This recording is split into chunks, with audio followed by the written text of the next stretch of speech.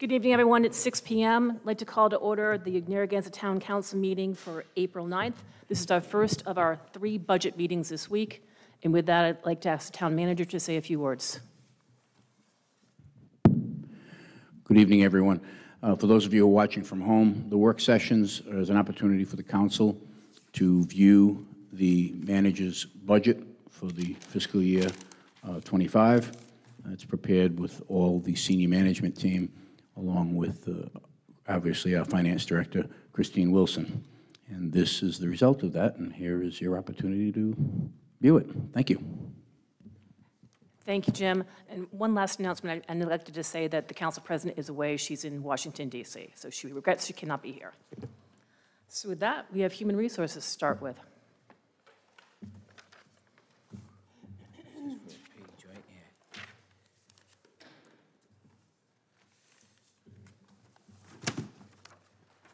Hello. Hi.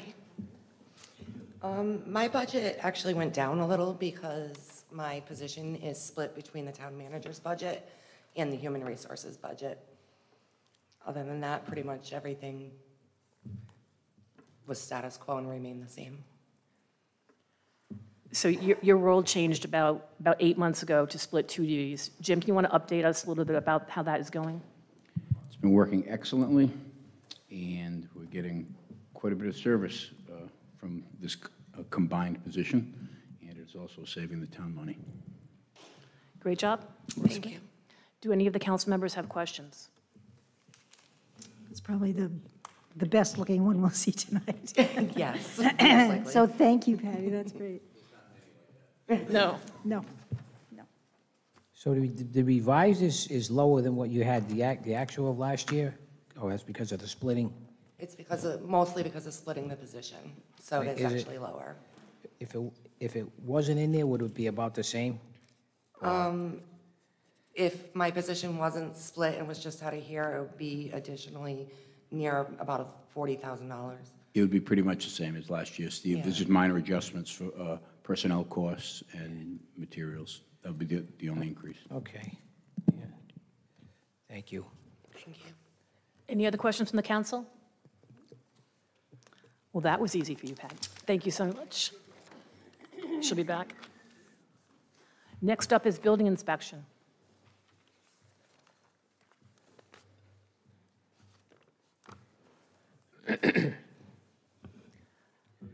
Hello, Wayne, and before you start, I'd like to recognize all the hard work you've been doing, working with all of our zoning changes. You and community development have certainly been putting in your extra time, and we all appreciate it.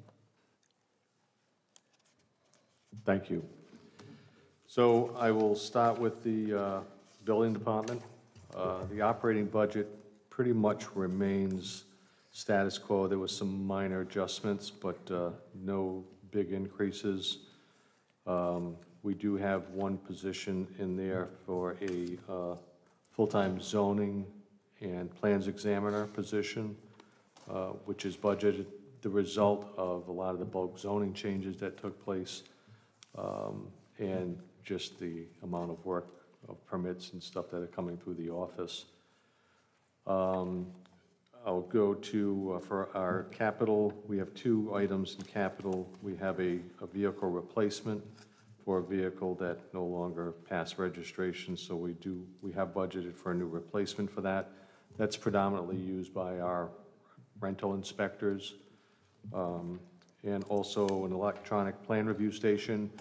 Uh, We received one through a grant from the State Building Code Commission. This is a second, so that uh, both Troy and myself will be able to do electronic plan reviews and uh, expedite the, the process and the amount of time it takes to get uh, plans reviewed and approved. Um, I'll, if you have any questions on the building inspection portion, and then I'll move on to rental registration. Any questions from the council? I just have one suggestion, um, and that is uh, for this new vehicle, which is moving, I guess, from a Crown Victoria to a Chevy Equinox. um, I did do a little research over the weekend, and uh, there is such a thing as a hybrid and/or electric Chevy Equinox. Um, It's, it retails at 35,000, but I would venture to guess that in this current era, there's probably grant funding out there to reduce that number. Um, I know one of the problems we have is that we do not have a charging station in Narragansett. However, it is my understanding that there will be two charging stations at the library, and um, I think it would be possible. I don't know, I didn't notice if the hybrid was, um, was a plug-in hybrid or it was a a battery hybrid. I think it was battery. Um, But it's just something that I think we really should look at. I think it's time, and um, availability is greater than it has been for a long time for uh, these vehicles. So really strongly urge that we look into that when we get to the point where we want to purchase this vehicle. Otherwise, thank you. Thank you. Yeah, I think we'd have to look into the charging location. I mean, I think, you know, the library is convenient for people that are going into the library and short-term charging, but for us, you know, we'd be having to park the vehicle there overnight, to charge it overnight. Um, So I think at some point, we'd have to get something here at the town hall to accommodate any type of electric vehicles. I think that would be a great thing to do, but uh, in the meantime, you know, I don't think there's too many people at the library overnight, so you could always use it there, use the one there. All right, thank you. So one- You're welcome. One, one question. Wayne, the um, building inspection um, position, is that going to just be in the building, or is there anything for enforcement? Um, In in well, the I have- budget and the next, and maybe it's in the next? Yeah, I'll talk the about that in rental or- registration. Okay. Yeah. This would specifically be for uh, zoning reviews uh, and also inspections. Yeah. Again, the bulk of it, due to the bulk zoning regulations that Right. were put in place, there's a lot more zoning review that's required for every permit that comes through the office. Right. And uh, it certainly has uh, resulted in a backlog of us getting these permits processed. Thank you. You're welcome. Any other questions before we proceed? All right, so I'll move on to rental registration. Uh, Again, the operating budget uh, has remained, remained pretty much intact with the exception of we have budgeted for uh, short-term rental revenue uh, as well as short-term rental expenses due to that uh, potential ordinance being passed uh, this year. Um, We also have positions in there uh, to accommodate both uh, rental enforcement and also overseeing the rental registration program in our office. Uh, We, we've always had the regular rental registration, but now with short-term rental on top of that, uh, it's just become a real uh, burden to oversee that along with the building department. So my proposal is to have someone in my department that would oversee regular rental registration, which is the yearly rentals along with short-term rentals, so they can oversee the enforcement section of that, getting violations out, uh, coming to municipal court uh, for hearings. Uh, It's just become a, a lot of work, and we expect that to continue. So we do have a, um, an administrator uh, within our office to, to work for the rental program, on the rental program, and also a full-time enforcement person. Right now, we have two part-timers. Uh, They kind of split up the week, It equals one full-timer. Um, But with short-term rentals, we expect uh, an uptick in the amount of enforcement that's going to be required. Is that then similar to the model that Newport is using, to have one person oversee the rental registration? It's very enforcement? similar to that, although they have a much more robust staff uh, than, than we would have. I believe they have a half a dozen people just in their rental program, uh, in their, on their staff. Um, So, well, this is a start, so we may, we'll see how it goes and then uh, make adjustments Work way up. uh, accordingly as we move forward. Thank So you. I I have a question.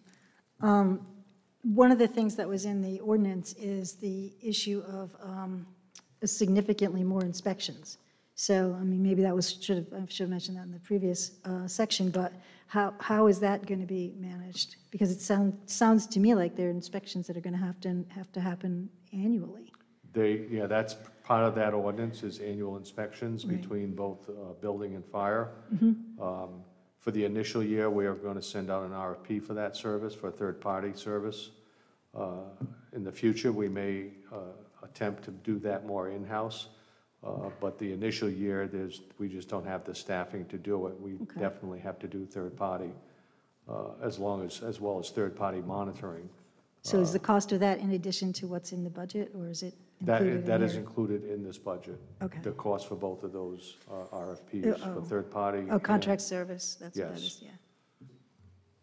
Okay, so that would be for both things, so we'd have to, I guess, structure the RFP to look for those kinds, that, that kind of, uh, Yeah, we're working We're on working on that that now. now. Okay. With the town manager, we're working on, uh, Okay. on those RFPs.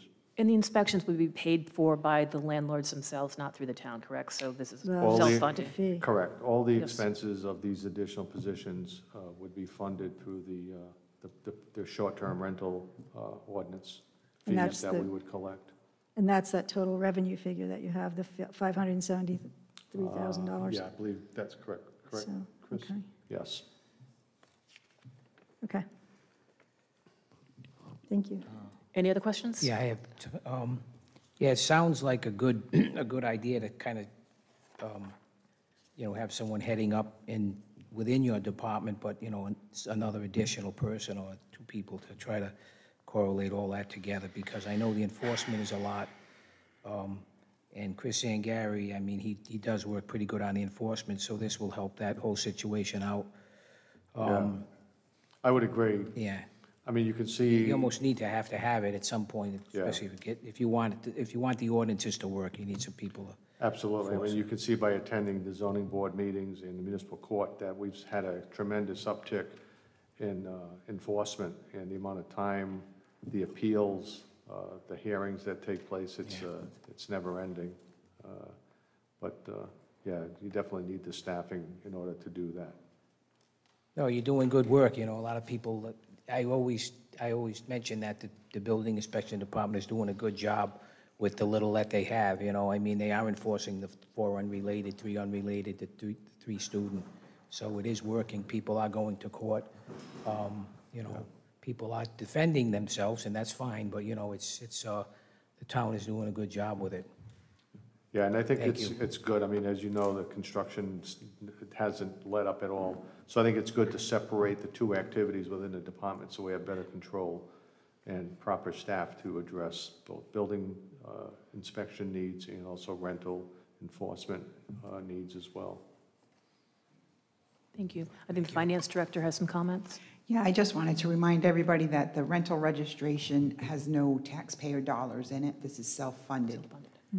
So if anything, you got to pay, you got to bring in the revenue to support it. Thank you. Chris, on um, at- at, uh, line item 50, 124, I just wanted to double check this. It has an actual for this year of nine 9,888, and then it shows um, for 2025, 47,132 with a zero percentage of increase. I was just confused. That's the way the system oh. operates. It It's- it takes it from the zero to the new number, so it it says it, that's, that's just You're how. You're just blaming it it's- on Munis, aren't you? Yeah, I have nothing to do with that column. Okay, thank you. I don't like that column. I see. 374. I use that column, that's not good news. Okay, thank you. Please continue, Wayne.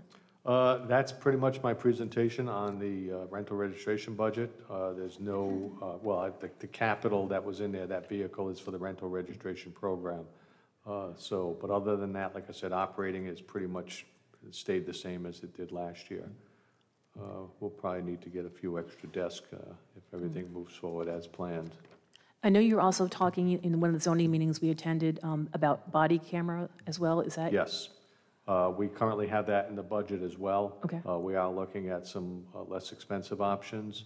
Uh, We want to make sure that the features can do what we want it to do, but uh, uh, right now, we do plan on having uh, body cameras available for the rental inspectors uh, for, for their benefit as well as uh, the- the people that they are visiting to make sure that there's no issues. Very good. So that's definitely something that they've, they've wanted, and we do plan on implementing that on July 1st. Be helpful for the zoning hearings, for sure. Absolutely, yeah. Chris has always asked for any type of uh, video evidence of an interaction or uh, comments made by the tenants when it comes to the enforcement, and this will certainly help. Any other comments from the council? Town manager? No, then the uh, body cams came up when the zoning enforcement people were running into some situations where people were verbally abusive and threatening. So we'll, when Wayne and I sat down and talked about it, we said, well, it'd be a great opportunity for us to protect the staff and gather evidence for, for prosecution. Absolutely. And The fact that there may be some that are less expensive than the, the units that the chief uses is, Yeah, because we don't need the, uh, to the extent that the police have with their protocols and their, uh, the the manner in which they have to maintain all of that evidence, so we don't have that same restriction, so we're able to get a, a less expensive model, but still do the same services. Meet that the- needs. Yes, super, thank you. you're welcome. Anything else? Good? Thank you, Wayne. Thank you very much. Thanks, Wayne. Mr. Holland?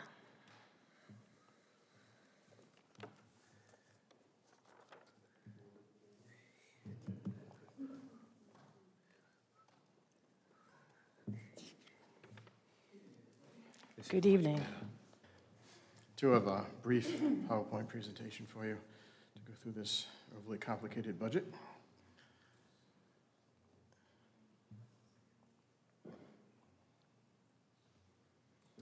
All right.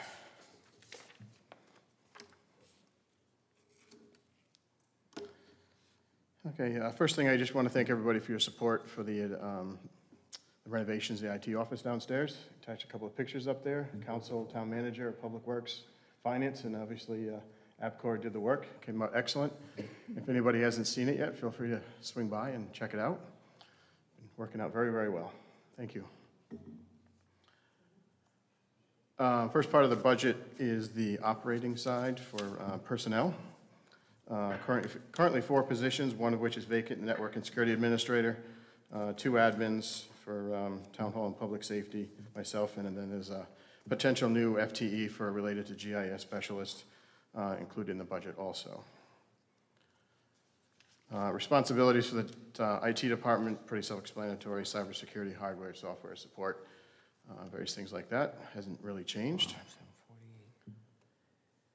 Um, Personnel and benefits set by finance, uh, only change in that is the one FTE for our GIS potential. Operating side, this is non-software and services uh, for the IT department. This is basically what keeps our department running internally. Uh, Most of it's level funded. The only difference is the contracted services for our- our uh, ISP, we want to add a redundant one. Uh, Allows us to uh, keep the internet up in the event we lose our current one. Uh, Right now, we're leaning towards a satellite-based one. In the event we have a hurricane, we can still keep it going, so.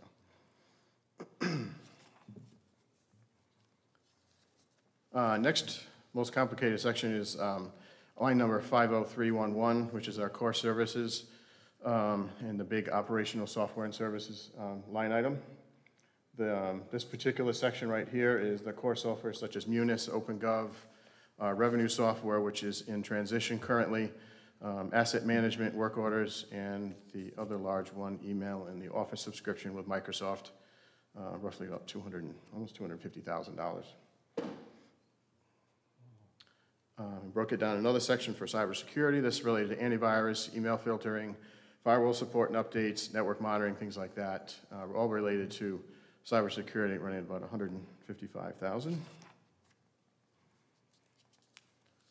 And the other section, I refer to as other, um, this addresses some internal systems for IT, for asset and inventory systems, our phone system, both here and at public safety, uh, physical security system, tools for the internal IT department, Zoom account for the town, and the uh, cloud backup for our O365 system at roughly just under 80,000. That's our operating as it sits right now. Um, I can go to capital if you want to, if you want to, questions before I go to that? I have a question. Sure. So that, at three ten, is it, or three licensing dues, that's, that's all, that's all that is, is software that we have to purchase? Software for- licensing, yep. Subscriptions, yeah, everything's gone to subscription-based. Actually, there is an edit to that right now. Uh, We just got the update to our um, virtual software license uh, for servers, and that's gone up $4,700, so that's another increase to that. We just got that yesterday. So So a lot of that went up then, a lot of the Oh, yeah, ever since 2020, it's been through the roof, yeah. Was it like a one or two years, or you, think it's different type of contracts, is ea- each one? Most of them are uh, one year, going to two years, we were not really designed for that for budget purposes. Yeah. Um, This, and the savings isn't all that great uh, across, across those. Uh, So, yeah, it's usually single year. Some extra cybersecurity we we have to go into these days. Yes, some of it, a good chunk of it, cybersecurity. Yep, all that went up. Dan, Yes.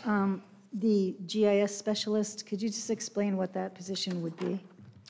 Um, Proposed is to work with multiple departments um, to and facilitate uh, map edits for like finance, things like that, other departments where we can integrate um, current software packages we have in the cloud with GIS. Uh, Things like uh, Viewpoint is designed to work with GIS, right now it's not. Uh, All you have up there is a Google map. Well, we could actually integrate that through what's called an API, upgrade, update the software, um, the, I'm sorry, the maps behind that and the data behind that from our own internal camera system. Um, That's basically, we can do about a half dozen different packages we could do that with now. So we're about to add another one for the utility billing could integrate also. That'll be the bulk of it. And then there's other departments who've, um, somewhere along the way have requested maps uh, that they want to edit and change on their own, or we could have someone do it, like this, this staff member could go in and do it for us, so. And yes, we could actually post those online with some licensing changes, so. Correct. Is- that for more of a uniform approach to, you know, you know, putting everything together and, Correct. Yep. yes, it's- I thought it was, I know we had the GIS mapping for the, you know, like the uh, zoning department uses and all. Correct, yep, that's That's all coming out part of of community that? development right now. That would okay. expand Everything upon comes that, out of community. Okay, yep. but it's So does that being free used up people- townwide besides?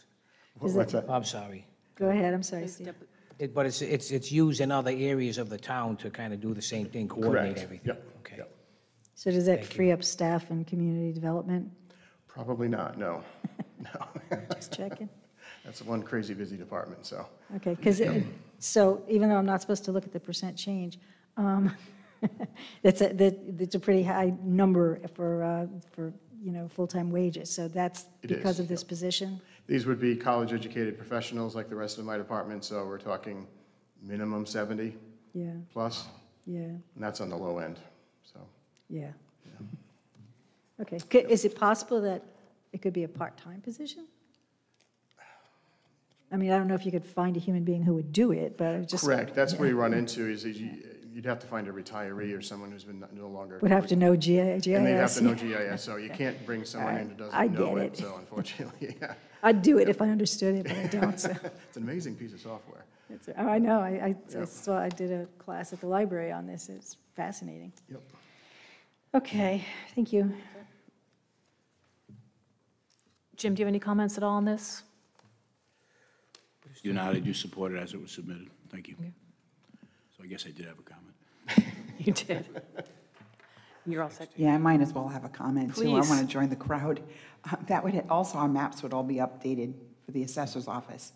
Y- You know, we up- update them every so many years and we get them up and they're already outdated. So it would be on, you know, live almost, the It's gonna da- be- information, not helpful years in old. so many ways for our rental registration to our tax assessor. I know we tried to do something with Parks and Recreation, or with the taxes, and we, we had a hard time, so this will solve a lot. Yeah. So, so just another thought, since we, since you said that, Chris. Is there some way to, um, you know, to sort of uh, spread out the cost of this position to the, um, to the other departments that would use it? That might be a finance question. Well, IT is one of those departments. I, that, that pretty much kind of everything does takes- that, yeah, I know. Yeah, when it's split across several departments, it usually ends up in the IT department. I see. Like our munis licensing is primarily finance, but everybody uses it, so we put that into the IT budget. Okay. So, So you get to be the, uh, the the catch-all, for the everything, yes. catch-all, yeah. Okay, good to know, thank you. All right? Uh, Thank you. Next is capital, we just, if you want to go through that? Yes, please. Okay. Um, IT number one is the uh, fiber optic cable maintenance. This is a line item that we keep to repair um, damage to our fiber optic network that runs from the North End Fire Station clear down to uh, Galilee and wastewater treatment plant, so covers the entire town. Number two is PC and server replacement. Uh, We try to keep uh, anywhere 30 to 40,000 in there every year, uh, replace PC servers, um, any other equipment that um, comes up, Uh, also monitors. Now, IT number three is equipment related to IT department that we really can't anticipate, um, rather than going into the red. Uh, Voice over IP phone system replacement, this is a, um, adding to a pot of money that we've already got started and building to replace our phone system. Uh, While it does work, the handsets are no longer produced, uh, we get those are reused, and um, so it's time to start looking um, the next couple of years. IT number five, uh, we've actually pushed off to FY '26. Uh, That's but to replace our physical security system in all the buildings that actually have it. Uh, And IT number six is to update our Nuance software. We purchased Nuance a while back through, instead of purchasing Adobe, which is outrageously expensive. Um, And this is less than half the cost, less than 25% of the cost of purchasing Adobe under subscription. So that'll bring us up to some current patch levels. And that's it, actually. So just to clarify for the, uh, the phone system, this is $50,000 that's sort of being put aside, and you'll continue to add to that? Correct. We have already have 50,000 set aside right now. This will add to that and probably do another year of that to get us up to about 150. Uh, We'll have to make the decision at some point whether we go look at cloud or we go into self-hosted. Cloud is another um, license or subscription, for lack of a better word, which will cost a substantial amount of money every year, so I'm hesitant in going that direction. Any other questions from council? I have one, whoops, sorry, go ahead, Steve, No, no, please. I'm all set. Thank You you. said- Yeah.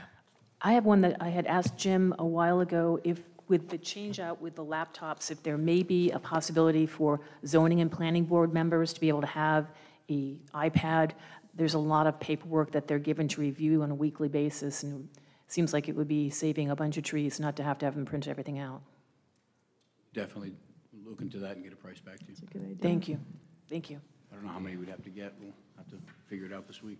Yeah, it's easy. We can figure that out, yep. Perfect, thank you. Welcome. Chris, anything from you? I think we're all set, thank you. Great, thank you. When you get rid of those trees, you got rid of those bottles, you're turning into a radical there, Jim. I don't know. Those My- my are kind of- 4,040 just from that Oh, machine that's- alone. That's good to know. You saw it today. Good, that's good. The next up, we have special appropriations. We have a few people here tonight, so if you'd like to come up one at a time, and if you'd like to present uh, to us. Do we want to do this in order? If you- Anybody? Can we- If can you we don't go mind in me order? just open, uh, saying a few things on this page, because I just didn't have another way to do it. So we have, the first one is perspectives. They actually don't have a request in, it's Meals on Wheels. Perspectives is Meals on Wheels. Okay. So Me- uh, Meals on Wheels put in a request that. for Yep. $1,000. Um, Visiting nurses, uh, that- we didn't get a request, so that 2,000, we didn't get a request. Okay, and then further down, 50060 Washington County, whatever that means. I- It's actually um, domestic violence. Okay, so they asked for uh, 5,000. And um, NRPA, really, um, they only requested 2,460, not 2,500. So I just wanted to clean that up and uh, let you know of those few changes. I just don't create new accounts if we're not going to fund or before I know for sure, you know? And I believe the document you gave out earlier, that South Kingstown is yes. reducing by some as well? Yes, uh, South Kingstown Senior uh, Services, they, they're requesting, ooh, what is it, 81? 87, 821. 87,821 from 96,911 for last year. So it's a little bit of a reduction, so. And I gave you the paperwork, okay? Thank you. I don't know if everyone is here who have sent us something in, so if, please, if you would just take your time coming in. Veronica, you're up front, if you'd like to come first.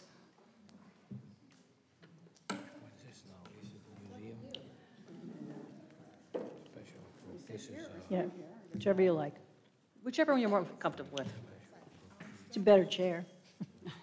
When you're short, this is, it's better, can you hear me? Um, So I'm here, I'm the president of the Narrow River Preservation Association, the NRPA that you just talked about. Uh, For a number of years, we've had received special appropriations from, from the town of Narragansett, and we use them, we've used them every year for our River Watch program, which is, we are now starting in May, our 33rd year of water quality monitoring in Narrow River. We have 13 sites, um, 10 along the main, main stem of the Narrow River, and then the others are outlets, um, inlets coming into this, such as the Mettatuxet River, the Mumford Brook, um, and a couple of other falls. We also, uh, one of our, this is very good for Narragansett, uh, one of our sites, NR 12, was off of the Edgewater neighborhood, and because the town of Narragansett has put in a new detention pond there, this is about five years, no, maybe six, seven years ago, uh, the levels of bacteria there are lower except during really major rainstorms, and so we've been able to stop using that as one of our sampling sites. So um, I just have to really thank the town of Narragansett has been very good about putting in best management practices, with detention ponds, retention ponds, or whatever is appropriate for the neighborhood, and that's really made a difference. So the only time we really have problems right now with bacteria levels are uh, really severe uh, sto- uh, rainstorms. Um, So this is, our request is for, as you said, 2,460. Um, And it, um, our total cost for the Riverwatch program is, is just under 10,000. Um, And so our costs we use is, because Narragansett and the town of South Kingstown and the town of North Kingstown all have, are all within our watershed and have sites that are within there. So we have a request into all three of the towns. Um, And as I said, the program is run by volunteers. So we have, um, at each site, we have two volunteers, two teams of volunteers. And they take the samples, take them to the URI Watershed Watch Program. But once a month, those samples, water samples, are taken to the URI Watershed Watch Program, where they are analyzed, and they use EPA standards for quality assurance. But so they analyze the samples for nutrients and bacteria and salinity. And the cost is for that, uh, the an- analysis of the water quality measurements, also the training of our volunteers that go out there, and also for once the samples have been ana- analyzed, they send to us our, um, our results for the year, which then we can use. And in the past, uh, we've used these results, um, we also, we use um, some of these funds to help. We have a, um, a URI graduate that works with us to put the data from each year into a really long-term data set. And we've come and presented before the Narragansett Harbor Commission to show how, over this, it's now going to be 33 years, um, how our water quality has improved in Narrow River. So it's used for, uh, there's a lot of different reasons why it's, why it's so important to have this. And we really, we have volunteers, but we really need the money to pay for the lab work and the training and getting the data to us. Thank you. Questions? Anybody have any questions at all? Thank you. Good luck. Have fun working with Jason again, in Narrow River. You'll have fun working with your buddy Jason again. Yes, yes. he is. Good. And I'm just, have to-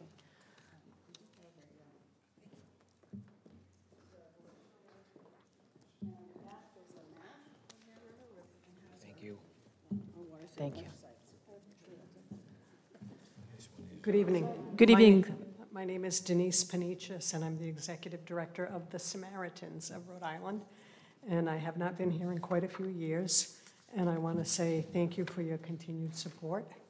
Um, As you know, um, you know what we do since the beginning, but probably the biggest thing we're doing right now is advocating for barriers on the bridges, which I sent the uh, clerk a, uh, and all the council of all the coastal communities, a request for a resolution to uh, the House and Senate Finance in support of putting the barriers on uh, the bridges. Um, Right now, the way it stands is in May, the way the legislature appropriated the money, um, they're going to do engineering studies of the Jamestown and Mount Hope first.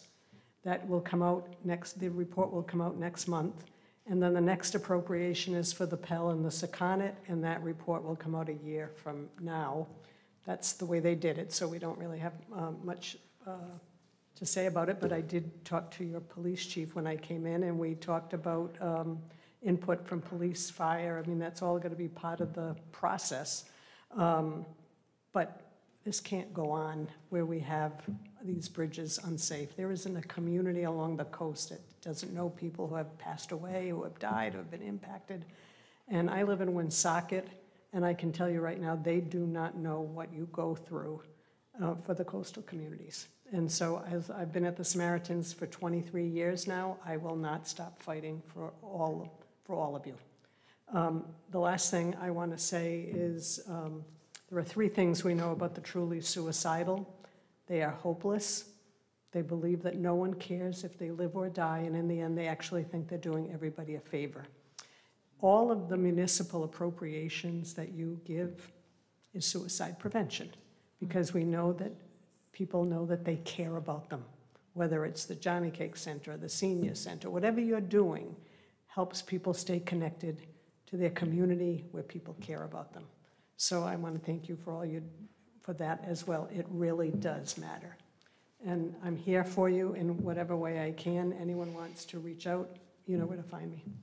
Thank you, Denise. Does anyone have any questions? And thank you to the manager's staff over the years. They've all been wonderful to us. Okay? Thank you for so your much. great Thank work. you. Okay, thank you. Who would like to volunteer to be next? Good evening.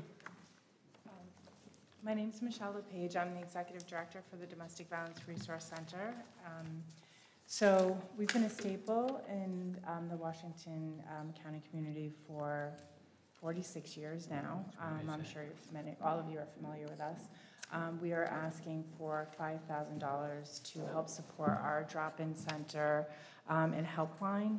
Um, All of our services, we- we are the only organization um, in Washington County that serve victims of domestic violence and sexual assault. All of our services are free of charge. Um, And our helpline and drop-in center are really the gateways for services um, for all of the people who call for help with us. Um, We have residential programs that they have to go through our helpline in order to get referrals into our safe home, our confidential safe home, our transitional housing, permanent supportive housing.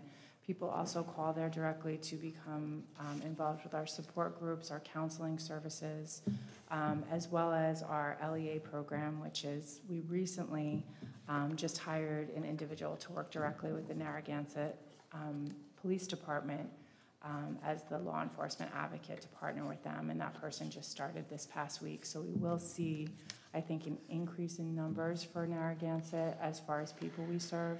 It's very hard to, to um, give an accurate estimate as to how many residents of Narragansett we do have. Right now, we're showing about, this past year, we served 1,400 people, um, and it's at about 7% of people who disclose where they're from, from Narragansett. Um, We believe that that number is higher. Um, And certainly with the new law enforcement advocate position, that number will increase even more um, as we go into next year. So we are really just grateful for anything that Narragansett is able to, to give. Um, So thank you for the consideration. Thank you. Does everyone have any questions Michelle? Thank you for all you do. Thank you. Thank you. Thank you very much.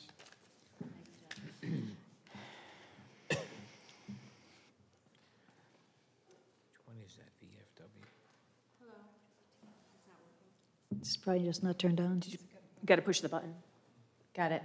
So before I tell you why I'm here, I'm just going to hand out, Kate was not able to stay tonight, so she just asked me to hand out um, her, her letter for their ask for Jonnycake, and um, just thank everyone for their continued support in the past, so I'll just hand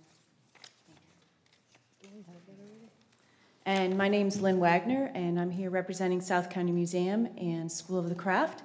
Um, We just finished getting our last makerspace open, which is our fiber shed. So we're now at the School of the Craft, and we do natural dye workshops in our fiber shed.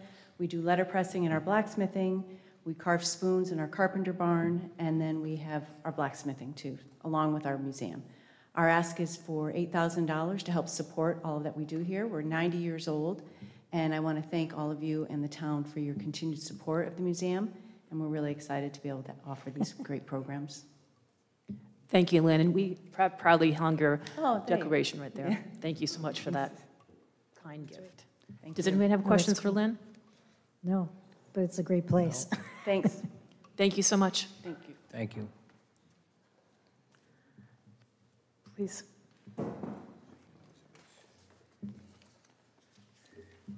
Good evening. My name is Bill Morissette, and I'm the Executive Director of the Wildlife Rehabilitators Association of Rhode Island. Um, And I just wanted to come here tonight to uh, introduce myself. I am the newly appointed Executive Director. Um, Been there since October of last year, and um, I know that the town has been um, supporting our organization, so I did want to go ahead and thank you for um, doing that. Um, Our request uh, This year is slightly more than what um, last year's appropriation was, um, $10,000. Um, uh, Relative to um, the Wildlife Rehabilitators Association, we're also known as the Wildlife Clinic of Rhode Island. And so the best way to understand us is kind of, we are first a veterinary practice. So we are um, down the road in Saunderstown, and just if you were taking a dog or cat into uh, veterinary facility with intake and surgery and intensive care and all of that. We have those types of facilities. In addition, we have rehabilitators throughout the state that do rehabilitation of animals um, in their home. Um, A big part of our expense is that we are open 365 days a year, um, and we also have uh, night owl uh, hours. And we have a, a network of volunteers that are transporters. They, um, they work off of a, an app if an animal is um, in distress. Um, they put a call out to our transporter network who will pick up the animal um, uh, normally within an hour and bring that animal for um, care. So it um, is just a very, very significant expense for us to provide care to these animals. Um, In addition, we have a pretty big public health um, responsibility as well. So we are, we run a regular medical record system just as you would see in your normal doctor's office. And so we are doing a lot of testing um, of these animals to um, determine if there are diseases that are present, present, and all that information is downloaded to DEM so that we can um, keep track of what's happening in the towns relative to disease. Um, I think the biggest, you know, service that we provide to the residents, um, this is the time of year where um, just endless um, run-in today of people coming in with bunnies, that the dog or the cat got into the nest, and the people are just distraught. There are these baby bunnies, and, you know, what do I do? Um, And just the relief of them being able to bring them to our facility and know um, that the animals are going to be cared for. So a big part of what we do for people is being available um, around the clock and um, uh, taking um, care of these animals. So again, thank you for your past support. Thank you. Are there any questions at all? I have a question. So, um, how do people find out that you're there? Do you work with current veterinarians and all that kind of thing, or is it, Oh, how do- how, is, what is your outreach like? To- to Um, A lot of it is animal control. So normally the first call of a resident that doesn't know about us is to the animal control. Um, In some cases, we work with animal control. In some cases, they will pick up the animal and bring that animal to us. Um, uh, In other cases, they might contact um, DEM, who also would, um, in most cases, refer um, to us. So we are doing a lot of public outreach as well, um, trying to um, uh, get that information out, and a lot of it is word of mouth. Yeah, okay, thank you. Thank you very much. Thank you.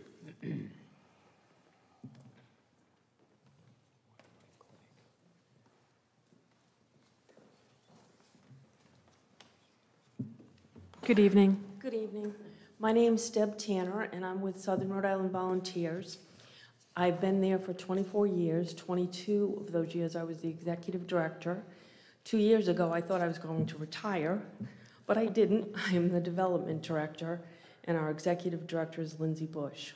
Our uh, request is for $3,500, which is level funded from the previous year. We serve senior citizens individuals 55-plus years of age who are disabled or 60 or over.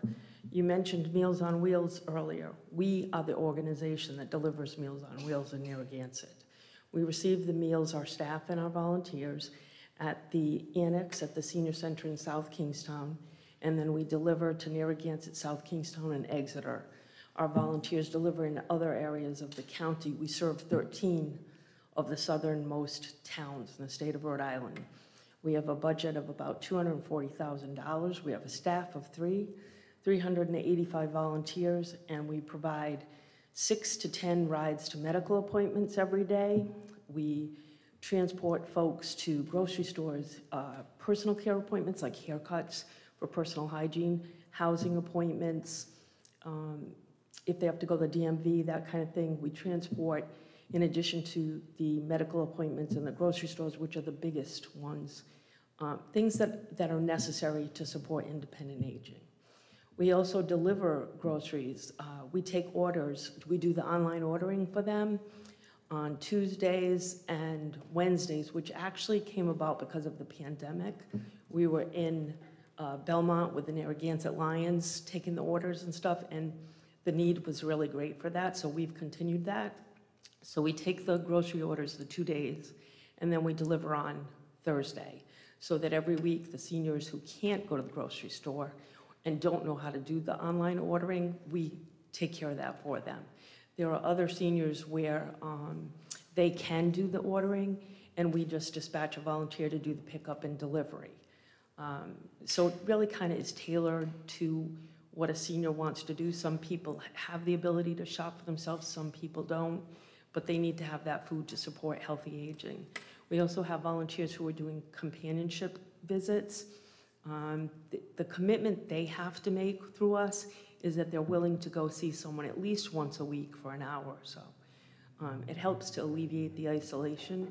The other thing is we'll do um, phone safety checks. And then we also believe so strongly in supporting our seniors because it's like they're the forgotten population. You know, for a couple of years, we did really well with donations and stuff during the pandemic because seniors were threatened by COVID. Um, but everything's back to where it was. Like, we don't, we don't pay attention to our seniors in the way we should. We have no transportation infrastructure. Southern Rhode Island Volunteers gets no support from the state of Rhode Island. We get support from the municipalities, wonderful funding sources, donors, that kind of thing, people who live in the community and see those seniors. Um, So that's really important to us, and we sincerely appreciate what the, the towns do, because that allows us to leverage our applications to like the Rhode Island Foundation and other locations like that to show them what's going on for the senior population. So we appreciate that. And we also sit on the Narragansett South Kingstown Senior Advisory Committee with Steve.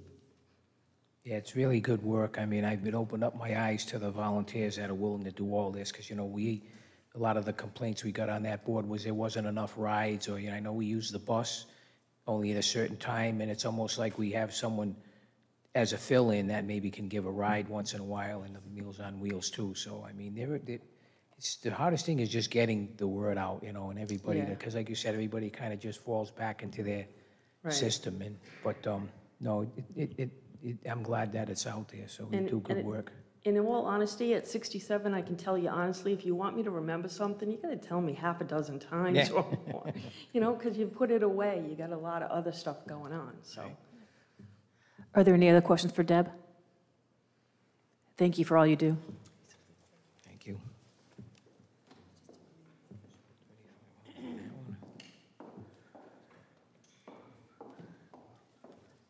Thought it would be a perfect follow-up. Thank you for a great segue. Also work in the elder care services. Um, My name is Jessica Goslin, and I'm the Director of St. Elizabeth Adult Day Centers. As many of you may know, um, we took over the, um, the Adult Day Center on Post Road from the town, and actually, we are coming up on our three years. So um, I just want to thank you for your support, um, and our request is for the same funding as last year. Um, I can tell you that we've seen tremendous growth, especially in the last year. Uh, We've had over 150 inquiries for service, and we have 38 active families. 21% of those come from Narragansett. And I can tell you, we have others that have already been um, reaching out to us for continued service. We held an open house in Warwick on Saturday, and four of the people who actually did register, it wasn't required, were from Narragansett, so there's definitely a need down here. And over the last year, because of referrals and admissions, we've been able to hire an an additional CNA. So whereas there's a lack of CNAs in the community and home care, we have CNAs in our building, and we provide showers, ADLs, assistance with feeding, toileting, incontinence, med administration, uh, med um, education. We are in constant communication with families, providers. We are a safety net for folks so that they can keep their loved one at home as long as possible. And, you know, sometimes we're even able to prolong and prevent the need for long-term care placement. So um, we've been very effective. We've been in business for 50 years. We celebrated our 50th year. And like I said, we we have been working with Town of South Kingstown and Narragansett with your assistance for the last three years. So, and we serve folks from a variety of communities, but we are um, continually seeing a need. Rhode Island is the fifth highest population of folks 85 and older. So to echo what was um, previously said, there, there are a lot of seniors who need help, and families are truly struggling. Uh, I can tell you, it's a little bit scary when folks come in and you think about the two of them trying to help each other in a shower or, or doing something like that. It, it's quite scary. Um, there are folks that, that really need this help, and like I said, unlike a lot of home cares, I have the staff, and we're able to grow, and we're able to provide that five days a week. So transportation certainly is an issue down here. We do work with MTM, but we are able to use preferred providers, but we do uh, rely on other services as well. It's not, it's not awesome in South County. Uh, I will definitely agree with that. So, um, but like I said, we've been, we've been doing a, a really good job. We've had um, physical, occupational, and music therapy in our center, uh, various activities, outings, et cetera. So we've also made some um, safety improvements to the building with the help of South Kingstown, and our building is safe, it's secure, it's alarmed, and it's a home-like atmosphere. So I just want to thank you so much for your support and, and request, respectfully request the- the same funding as last year. Thank you. Any questions for Elizabeth? Thank you very much. Thank you. Pass these down, Jill. That's for the Johnny cake. Yeah, take one, pass one, I guess, yeah. Okay. There are a few people that were not here. Jim, I know one is the Chamber of Commerce, and in their notations, it does say that they're looking for an increase due to the calamari contest from last year. Could you elaborate on that a little bit for us? They're not here.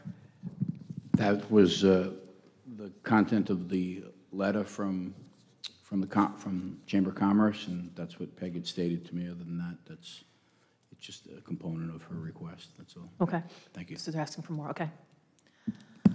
Great, thank you. Chris, do you have anything before we move on? No, I do not. I don't know if Patty has anything. I took her limelight by accident.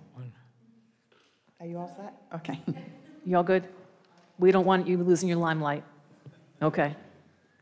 All right, move on to the library.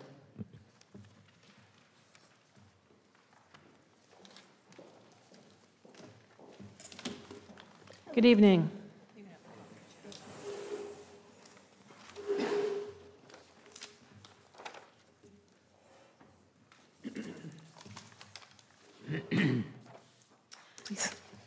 So our, our budget we've put together um, with the idea of the new building and trying to keep in mind um, what we, expenses that we're not really sure what's going to happen. So some of our increases are just regarding heating, electricity, just in case we need the money to cover um, those charges, because we just don't really know. We're hoping that they're really efficient, since the old library was so old that maybe we'll save a lot of money with the new, new stuff. Um, As far as staffing, we're maintaining um, the level of staffing with just a increase for raises, which we put in for 3% overall, which includes the full and part-time. And then if you notice the overtime line, I wanted to explain what that was. That is basically what we cover for our Sunday hours. Um, We're one of the few libraries open on Sundays, especially in South County. So um, years ago, the board had um, planned to open on Sundays and offered overtime so that we could have staff coverage. It is an important service. Um, Many people rely on it for Sundays because that's their only day off. Um, We're open 12 to 4 from September all the way through April. When the weather gets nicer, people tend to want to be outside, so we find it's not worth being open that time of year. But definitely from September on to um, April, it's, it's worth it. And again, we use minimal staff, part-time, um, to help answer questions and fulfill requests. Thank you. Um, The other um, incidentals are things kind of out of our control, health insurance, dental insurance, life insurance. Um, As we move down, our, which is still an old-fashioned term plan, which now is actually Ocean State Libraries. And um, CLAN is our technology. It's a consortium that runs the state's technology.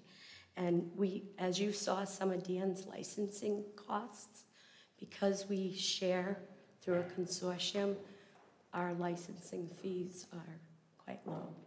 Um, And so the licenses are included in our membership. That also includes ebooks, which is um, part of our membership's purchases ebooks for the whole state. We use that as um, kind of a cutting off, a starting off point for the membership, but because ebooks are so popular, we do use extra money from our book budget to buy more. So, but that um, money, that, the 31,000, we get quite a bit of bang for our buck for that. We also get like wireless, you know, the wireless internet comes through them so that we can offer it throughout the whole new big building. And then um, they're also working on moving over the parking lot Wi-Fi, which is very popular. Um, It came out during COVID that we were able to offer it, and now they're trying to, because it's through a grant, then the um, grants are per location. So because we moved, there's a lot of red tape trying to move it to the new building, but we're hoping that works out.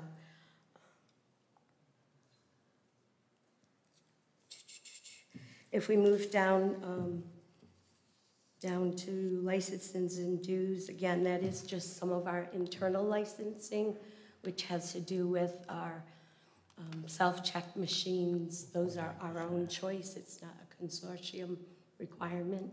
But um, again, during COVID, we offered the self-check as an option for people, and everyone fell in love with it. But it is, again, the licensing is expensive, as Dan says. Um, We currently have two self-checks, and we're hoping to add one more.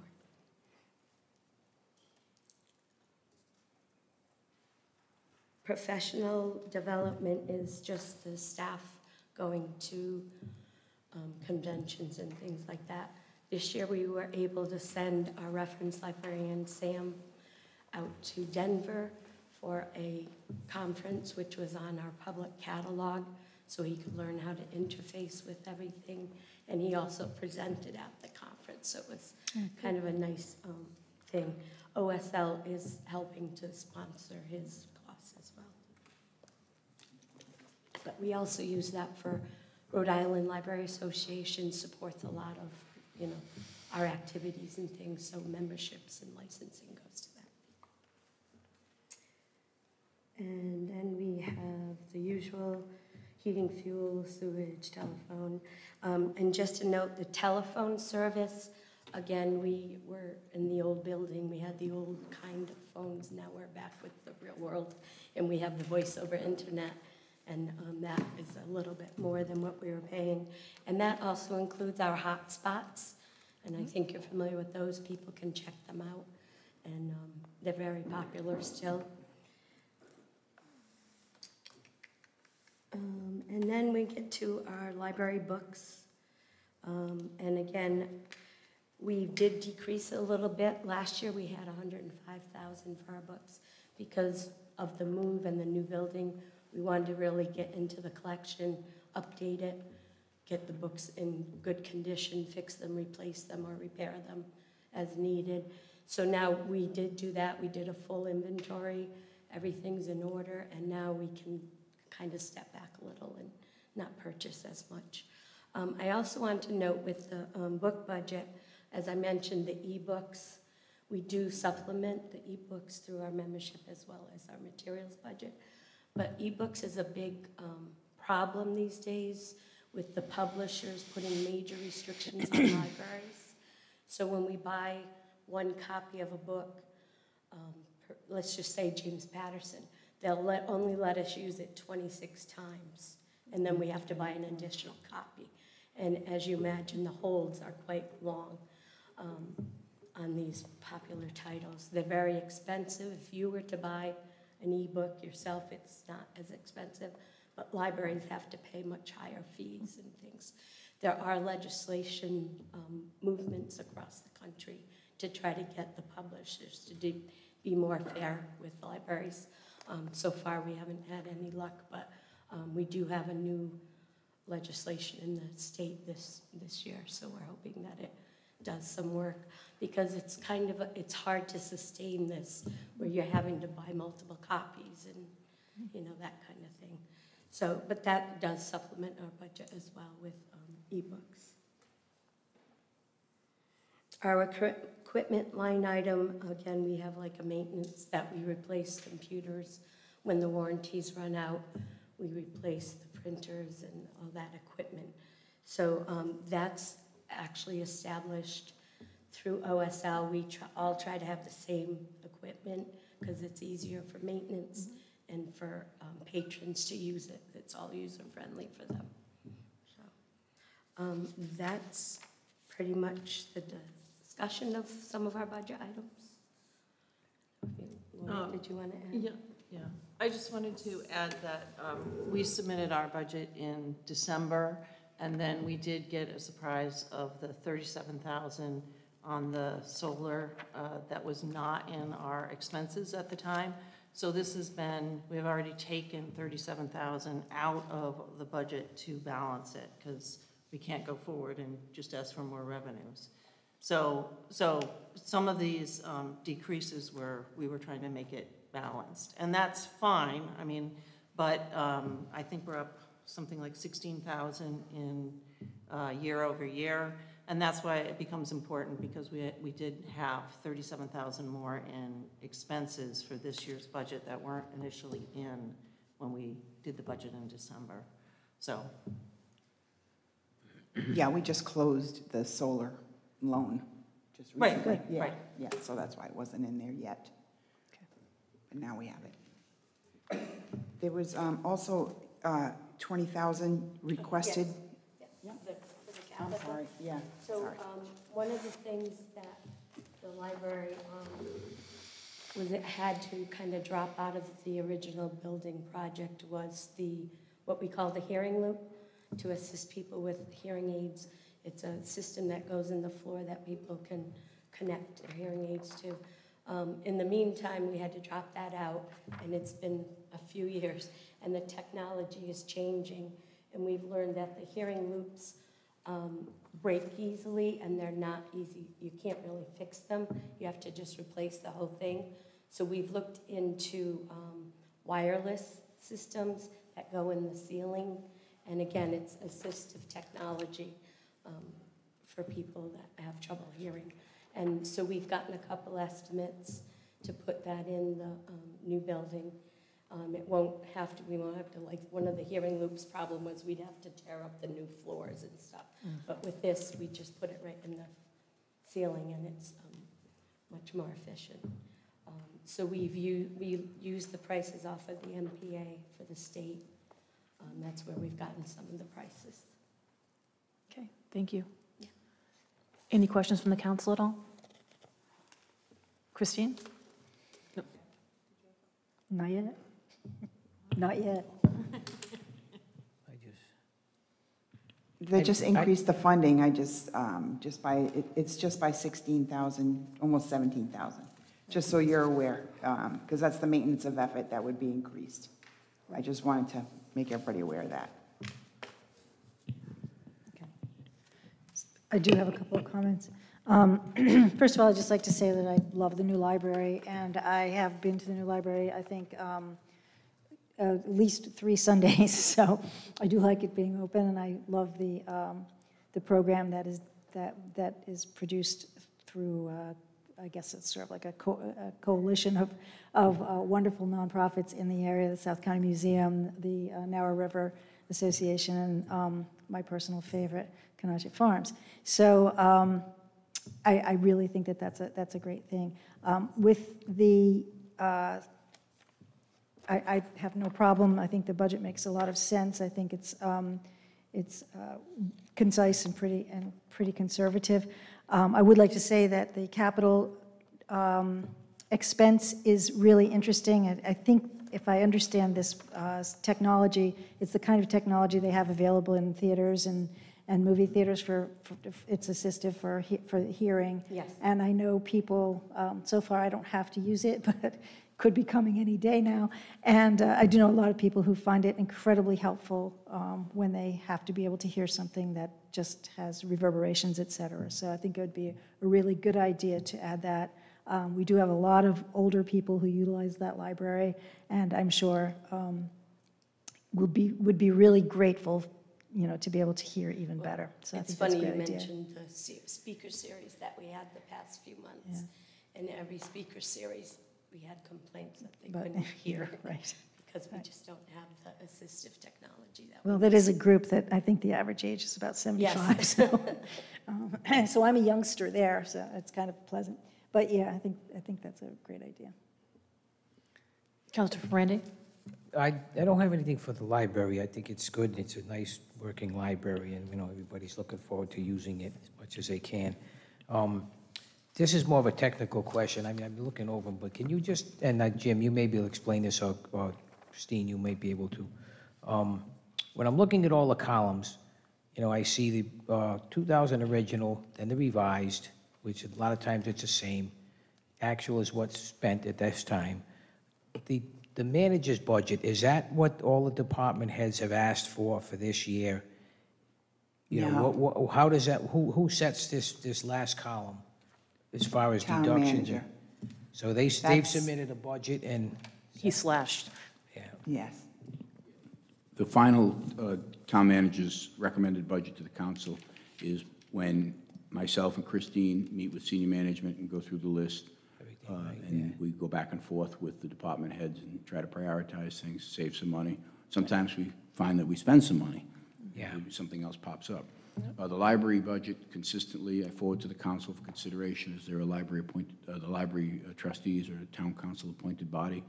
Uh, So the, the budget is forwarded to you as it's submitted.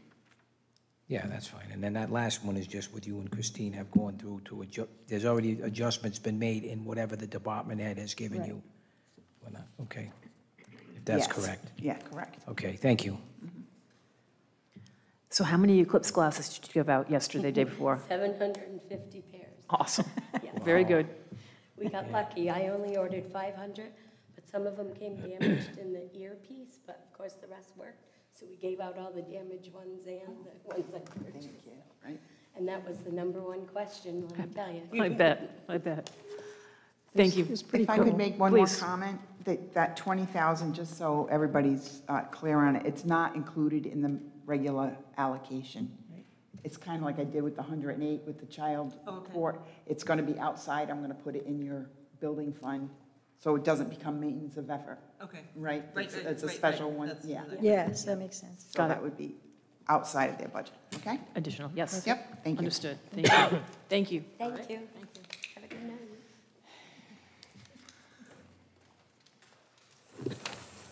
Town manager. There's not a lot of excitement in this one. Um, The only, the major change was through the combination of the HR position with the executive assistant's position.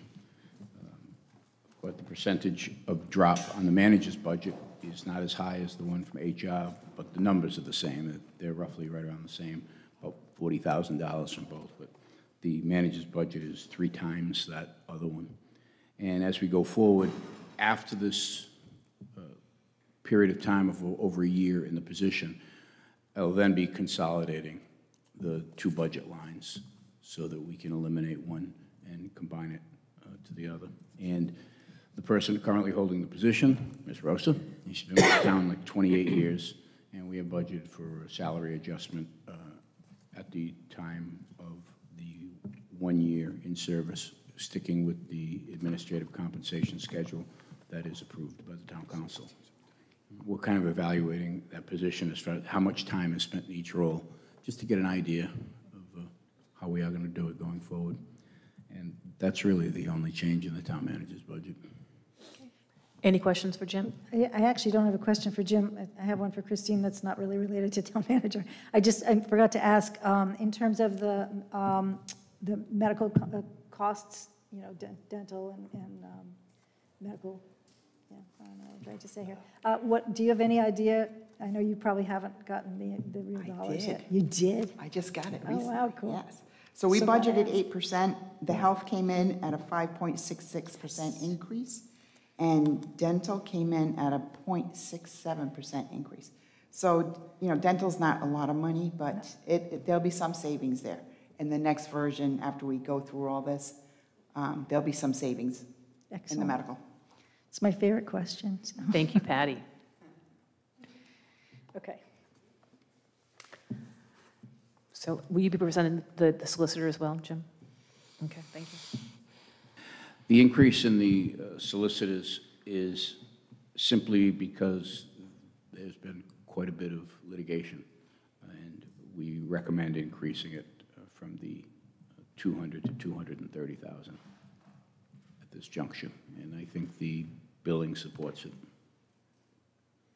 Yep. Do Any you- questions from the council? Yeah, do we know what we actually, because I haven't had a chance to look at the audited document yet, uh, what we, what our actual number was for 2023? Was it, is it the one that's in here? For the solicitor, For the solicitor, yeah. Okay. So, and, and our actual 2024 numbers are through February, is that right? Right? Uh, Through March Oh, they are through March? 26th. Oh, okay, so it's almost the whole month. So, I mean, it doesn't look like we're going, to unless some huge amount of money is going to come up in the next three months, next two and a half months, um, that we're going to hit 200,000. So uh, is there really a reason to, to go to 230? I mean, do we expect something very different from what we have this year? I'm just curious. I think so.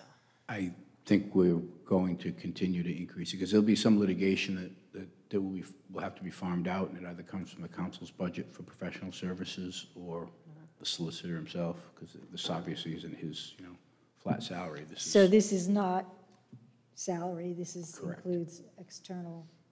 Why don't we just put that in the town council's budget? Is there some, I mean, is there some reason why we do it this, why we split it? I think it's just been historically done that way. There is a, there is a little bit of money in the, in the, In In the the town council. in the council, yeah, I council looked at it, I budget saw it. for something that you would uh, want. I'm trying to think of what was, a few years back, you had a special project. I don't know if anybody remembers it. Parking study was one. It- Yeah, there's been some things that you wanted, o- like, that were over and above, and I don't think the soli, it wasn't So the this would solicitor that was everything. used, it was somebody else. So this would be, this should be everything unless the town council came up with some specific request. Some outside thing, maybe a, you know, if Yes. Okay, there's HR stuff or pension stuff, it wouldn't, you know, that might be outside, right? And I can provide the council, uh, before the first reading, uh, an updated um, accounting of, of what has been paid out, okay, like I've done in the past with the, the Excel spreadsheet. Just send Yeah. another one to you before the first reading. yep. Okay, Good. All right. Thank you. Chief Corrigan?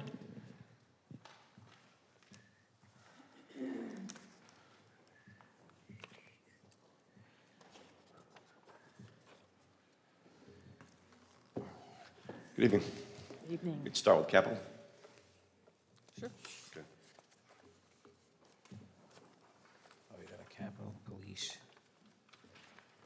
Police, uh, So the first item you see is our vehicle replacement. So that amount is for two marked cruisers and the upfitting, uh, lights, sirens, um, prisoner cage, etc. Uh, The second item is the MDTs, which are mobile data terminals. These are the computers that are in um, side of the cruisers, and that uh, amount pays for one. We have uh, one in our inventory that'll take care of the other second vehicle.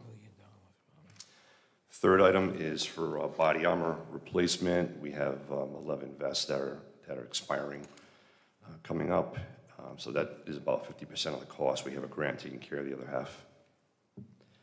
The uh, fourth item, the animal control vehicle, we pushed that to next year. So we got a car that's running, so we're going to stick with that. Uh, Fifth item is uh, radios. That will purchase uh, two radios, and that will get us up to the full amount for our officers. So that, that item will disappear next year. The sixth item is for uh, tasers. That's the Model 10. That'll purchase seven of those over uh, five years, and that's the first year payment right there. Uh, Item seven for um, equipment, I believe that is the speed uh, equipment. So the, uh, probably knows the radar shields that we have in front of the beach on Kingstown Road and on South Pier Road. It's been an excellent uh, resource for us. We want to expand that, get a few more of those. Um, That was originally an ARPA uh, request, something that came out of the pandemic was a lot of uh, speed, speeding complaints in town. So, so will they be on Point Judith Road, the new ones? That's one, that actually is one of the locations that we have identified. Glad to hear it. Speedway. Absolutely. Yeah. I call it the Autobahn. of So the uh, next item would be the uh, firearms training and response. Uh, That is to to replace um, some old patrol rifles that we have. Our plan is not to trade in the existing ones. We will destroy those and just purchase three new ones. Item number nine is um, the body cameras. uh, That is being covered under a grant. We don't, we won't need that until uh, 2028. Uh, Number 10, uh, this also was a, uh, an initial request for ARPA funds for riot gear. Uh, There was a lot of social unrest in 2020, and um, so I've, I've kept that item on there, not knowing what the future will hold. So I would say if there's a, a need for a cut, that would be a, a possibility, but there is concern for what the, uh, the election season is going to be like, kind of um, disturbances there may be.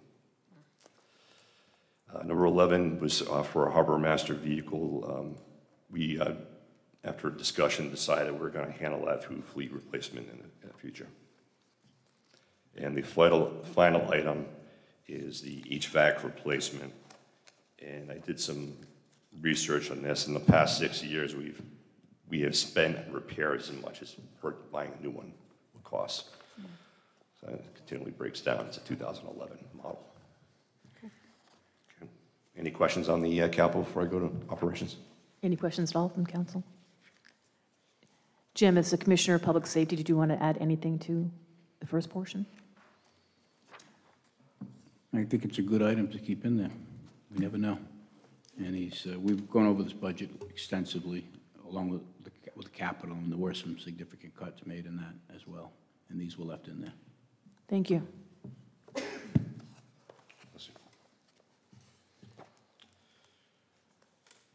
So for operations, the first budget is going to be dispatch. That's all payroll, which is covered under Council 94. So if you have any questions, I'll move on. Uh, The next budget is for our uh, civilian staff, non- non-officers. Uh, This, this uh, line covers our, um, some full-time uh, clerk staff, uh, part-time such as uh, maintenance and public records. Uh, I'll Call your attention to uh, one increase, which is um, for a project for my, to expand my CSO program, Community Service Officers.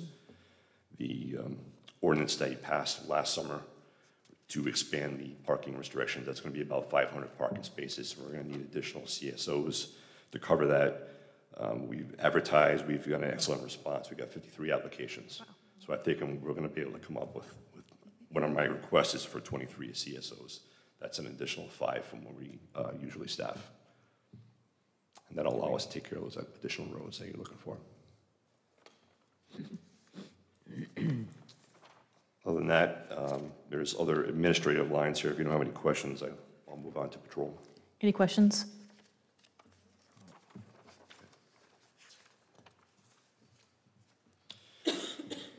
So this is patrol staffing. Uh, There's no no changes here. This is all handled under the IBPO uh, CBA. It's the same staffing as last year. That's 43 officers. That accounts for um, a school resource officer in, in each school, the full-time housing officer. I'll remind you that the school resource officer in the elementary school, half of that is paid for by the school department and half of the middle school. So essentially, one of our three SROs is paid for by the school department. Any questions on patrol? Any questions? So general investigations is the next line. Uh, There's been no changes here. This, this funds three detectives, uh, the detective lieutenant and the detective uh, sergeant, um, same as last year. Any questions with investigations? Any questions? Moving on, uh, the animal patrol officer position. Uh, This funds the animal patrol officer in a part-time position, which is currently vacant that we're advertising for. Otherwise, there's no uh, changes to uh, that budget. I just have a question on that. That's, Sure. has- has, has that been vacant for a while now? The part-time position's been vacant for uh, a few months. Yes, the full-time position is filled. That's filled, okay. Yes. All right, okay, thank you. And the last budget is for the harbor master. Um, There hasn't been any changes to this budget. This is the- the seasonal, uh, full-time harbor master, uh, Kevin Carter, everybody's familiar with, does an excellent job for us. Uh, No other change to that budget. That's everything I have. Any other questions for the chief?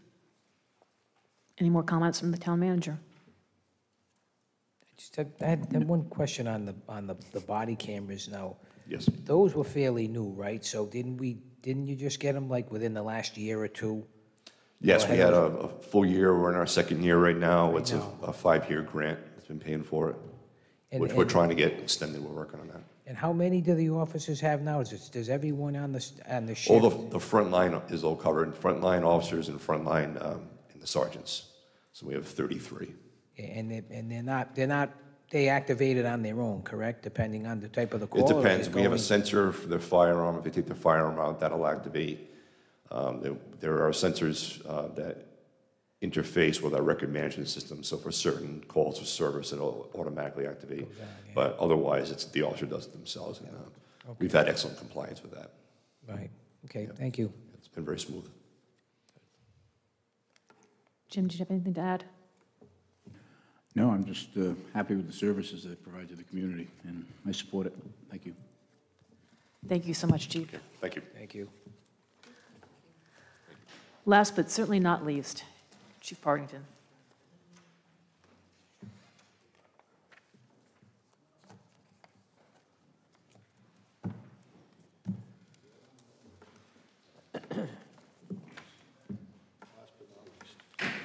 That's right.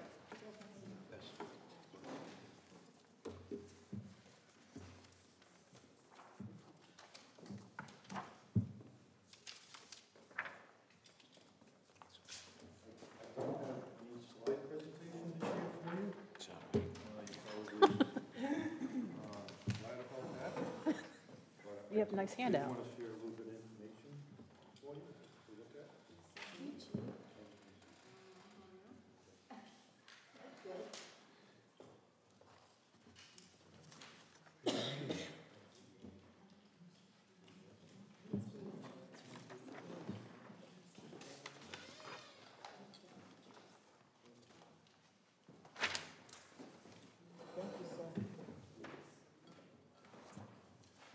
Yes,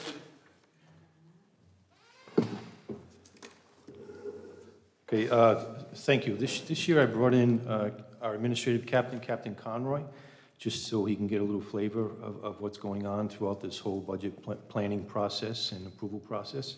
So I've asked him to join us uh, this, this evening. He has uh, joined us throughout the whole uh, planning process as well. Um, I know what I gave you is just, uh, it's a little busy, but uh, if you are interested in the whole uh, electronic version, I'd be happy to send it along to you. Um, I do take this opportunity, um, as you know in the past, just to uh, discuss a little bit about some of the things that the fire department has done over the, over the previous year. Um, It's a chance for me to highlight the work that they do, uh, give them a little recognition and, um, you know, show the activities that, that we do uh, get involved with o- over the years, um, all of which are on that, on that sheet right now. Um, So as, as we stand right now, you know, we're just not uh, involved with uh, um, fighting fires. There's a whole bunch of other activities that we pursue. The call volume overall has, has increased. Um, It continues to, to increase. Our activities continue to increase year to year. Um, Right now, uh, as of 2023, you know, for call activities, these are service calls, these are, you know, activities that we do um, besides just the, the reporting ones that um, have to go to the national uh, reporting system. So these, these are, these are a lot of service calls and activities that are done behind the scenes. Um, th- uh, Over th- about 3,778 calls for service uh, of the year 2023. Uh, That's inclusive of everything that we do. Um, And if you look at that kind of retrospectively, uh, rec- going back to 1993, and um, it's really been a a 123% increase over the past 30 um, plus years um, from what I've seen uh, year, year to year. Um, And I did include this in kind of a very detailed um, report that I, I sent to the town manager, and I'm sure he has uh, shared it with, with all of you. Um, So this was just information I was passing along to you. Um, If you look at the stat sheet that I gave you, a lot of the work that we do is, is really centered around um, EMS. It's about two-thirds of our call volume is, is EMS activities. Um, And then, and then an interesting stat is about 25% of the time that we're experiencing a call, there's another call coming in. Um, So we, we, we call them concurrent calls or, or simultaneous type of calls. Um, It's not necessarily the, the, the volume that we do, it's, it's always been the frequency that, that, of the calls that, that come in. Um, And a lot of times, 25% of the time, um, when we're dealing with one, there's another one that is coming in uh, for us to deal with. Um, So all of this, we, we've kept in mind, and as you look through these stats, we've kept in mind as I've um, uh, put together this budget transmittal and request to the town manager uh, for this 24, 25 year. Um, And all of that was um, taken into consideration when I, when I did that. So uh, that's a little bit of uh, the history. Um, Some of the, some of the things that will be addressed are, are um, the continuation of the current staffing levels was, was a request that I had to the town manager uh, and to the finance director to to consider. Um, The SAFER grant that you know uh, was a, um, a, a three-year performance period grant that paid wages and salaries for three years. Um, It, it started in um, 2022, January, and will end uh, January of '25. So there's a gap period in wages and benefits for those additional eight that um, we- has been uh, put into the, the budget uh, for this 24, 25 year. Um, That was the ask. Uh, So when you look at the wages and benefits increases in that category from the operating, uh, that takes that into consideration uh, for, for this next coming, coming year.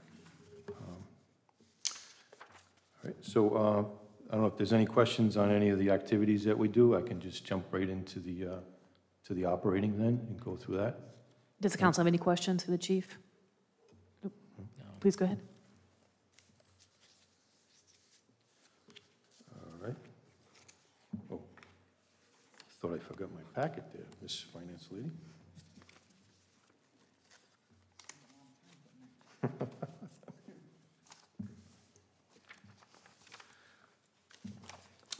All right, so for the operating, uh, if you look at the, uh, the top, top account there, where we start with uh, uh, 50101, full-time wages, and right down to account level, account item uh, 50127, that's essentially all of the wages and benefits um, that um, uh, we worked out, and uh, at the recommendation um, of the finance director and town manager. So all of those um, wages were increased according to their uh, recommendations, taking into account all the other increases and things that are going to go on. Um, Again, it it includes the- that five-month gap for the, for the SAFER grant for those additional firefighters to cover them through that 24-25 period. So then the next, the next uh, increase, and just, and just um, stop me if there's any questions uh, uh, as we go down, the down it. Um, The other increase, Which? Do you have a plan for the, after they're funded? well, well, I- I- my, my plan is to, uh, to keep them, uh, and maintain Yeah, their yeah. staffing levels. That's always been my, my plan. Um, I did put in um, that uh, recommendation in my, my last budget transmittal uh, to the town manager and finance director for consideration going forward. Um, But if you ask me, yeah, that, that- my plan is to, to keep the staffing levels going forward. And I outlined the reasons why within that, that, that um, budget transmittal to the town manager and uh, the finance director. And, and to be clear, as the chief said, they are budgeted in there, so, uh, for one of the major reasons we haven't still budgeted in there is because there's no, there's no definitive answer what's going to happen with them. We're going into arbitration, and also not to include them in it, I, I think it indicates, uh, when you're in the middle of bargaining for something, or going to arbitration, it's best to prepare for whatever the outcome is, and have it budgeted if we're going to maintain them instead of searching for it later. I just, have one, one, one question along, along those lines. I know when the grant was given out, there was talk of, you know, to, to, to get firefighters ready if someone was, wanted to retire or anything. And, you know, I, it, it's up to the firefighter, I guess, when he wants to retire, but I mean, have we had any retirement since the, since then, or do you foresee any possibilities? Uh, Well, under the terms of the SAFER grant, we were required to keep uh, those additional firefighters. So, um, you know, if there were 40 line firefighters, we were required to keep the 40. So even though if one retired, we were still, we still had to replace them. Um, But after, after the performance period, come January of 2025, um, you know, the the town is free to do whatever they choose to, you know, still keep the staffing levels up. um, And, and this, this 24, 25 budget year asks to do that, and asks for the funding to do such. Um, But it comes down to the town to determine what they want to do. Where, where, it's based upon, you know, what the current minimum staffing requirements are within the CBA and so forth, so. I Did I, did I answer your question? Yeah, no, I There's understand. also I a mean, money and- object in and there it's- too. What's just that? so you know. There's got to be money for it too, for next year, in 2026. No, I realize that, yeah, obviously, yeah, but I'm just, you know, in, in, just trying to get an idea. That, I, it, I'm not saying it wasn't part of the program where someone had to retire, but you know what I mean? It's not that common that you'd hire eight firemen all one shot and then, you know, maybe you keep them on, maybe you don't, but I mean, I know one of the questions was, and they actually become, this point, they've become a full-fledged firefighter, correct, you know, with other licenses and all, um, to either stay or go to another department or whatever they would, Yeah, we, we, we would, uh, you know, the intent is to re- retain them. Right, you right, know, I understand um, that. Come, come February of '25, um, you know, we're required to keep the staffing level. Right. well, In line with what the current CBA agreement is, you know, um, but other than, that, above, above that, the town is not, you know, required in which to keep them. But um, we, we, we do, we are anticipating the potential of some retirements, so we would already have those firefighters to be able to help fill those gaps. yeah, that's what I'm getting at, yeah, so, okay, thank you. Uh, So just, just moving down, anything else that jumps out at you? um, There is a, um, an increase ask in line uh, item, uh, account 5201, which is professional services. Um, But that's regarding um, an, an increase associated with um, firefighter medical evaluations um, that we are looking to uh, move forward with in that category. Um, Right. Any, uh, and then the others, the others down towards the end are, are basically increases in anticipated operating costs, um, supplies for EMS supplies, um, uh, gas increases, utility increases um, that are expected um, with that. Um, mo- Moving on to the, to the next page, uh, again, anticipated increases associated with um, those areas are uh, rate increases to water, sewer, utilities, um, um, and things like that. Uh, um, The maintenance service contracts is a, is a large, is a large item. That's um, in the equipment repair line item, which is 50506. Um, If you look out across that line item, um, we're, we went contract by contract, um, particularly on our maintenance or service contracts, to try and anticipate what the increase uh, in those service contracts would be. Um, And that's reflective in that increase there in that line item.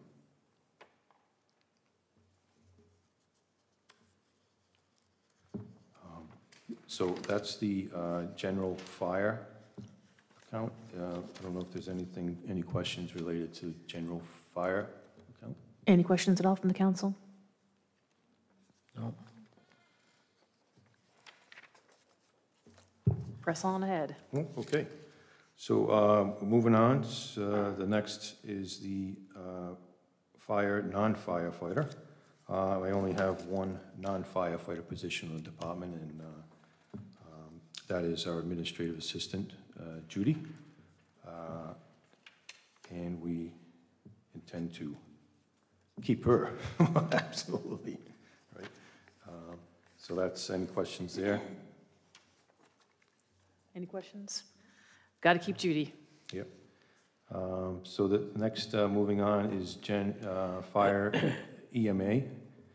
And um, that's actually been a- a slight reduction in, in that category. So um, we are expecting a um, increase, we, well, we did get an increase in our EMPG grant funding, um, which helps to support uh, part-time salary and wages.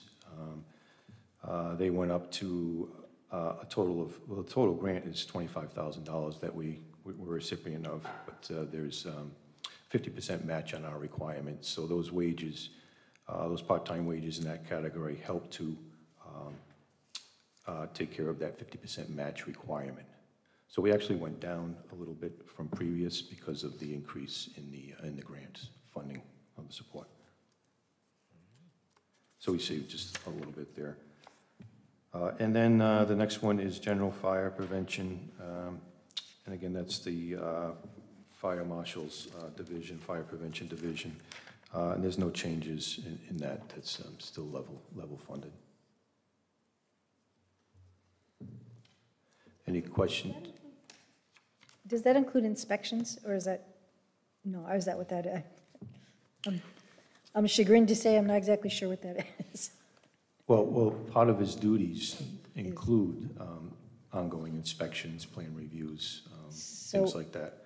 But these so- particular accounts fund, help to fund his operating um, supplies, his equipment um, that's needed to- for both his, his division as fire marshal, is also um, helping to support the fire alarm um, division, so all the equipment and maintenance that are involved with that. But the inspections are funded by the person receiving the inspection. They have to pay for them. Um, They have to pay for them, and then that goes back to, to the town. Yes. Yep. Okay. That's the smoke CO. Love inspections. smoking Yeah. COs. Yeah, yeah, it's not directed specifically, you know, Right. to, to, to this fire marshal, it goes, goes back to the general. General fund. Okay. Chris?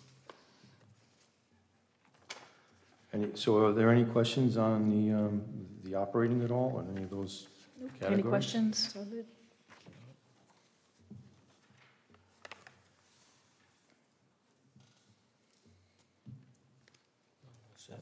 Capital? Capital, okay, Yeah. sure.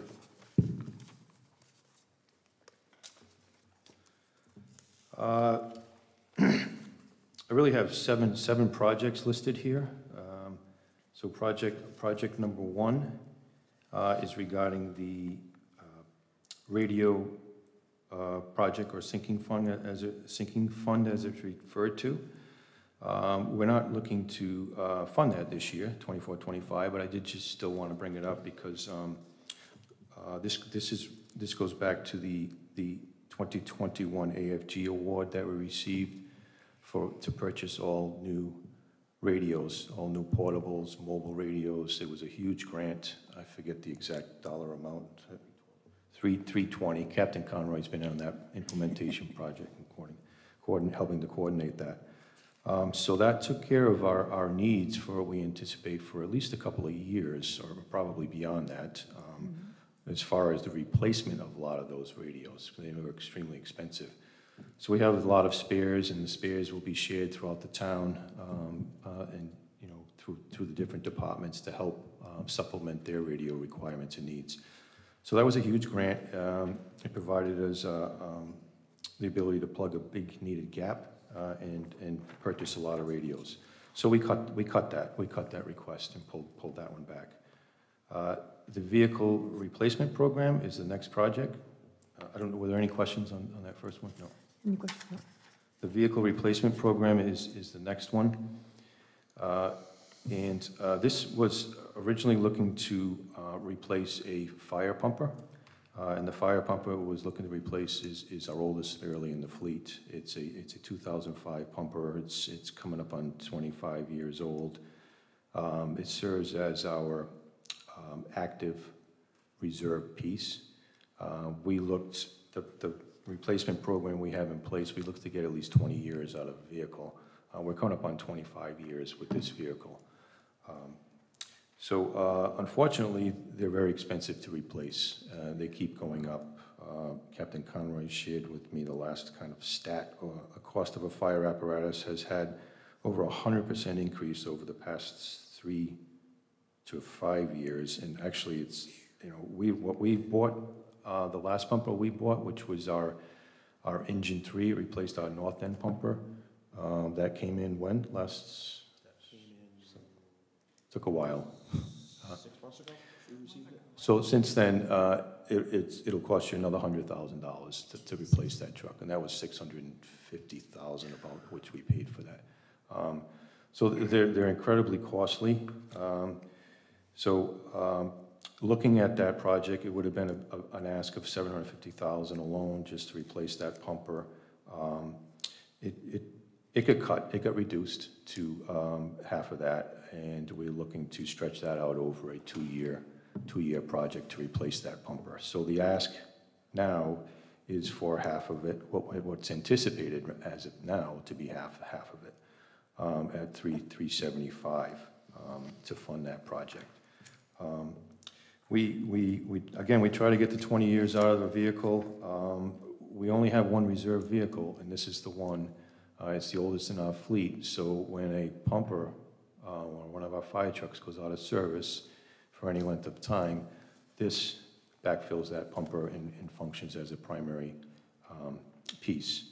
Uh, And it does it fairly frequently because um, good quality preventative maintenance that DPW does, trucks go out of service, things break, so we have to, you know, backfill that pumper with, with the active reserve, and we only have one of them. Uh, If another one goes down, we borrow uh, from another community, Uh, and we've had to do that as well. So, um, uh, but we had to make a decision, we, we we peeled that back, so it- again, we're looking at a two-year uh, program for that. Um, Any questions for that?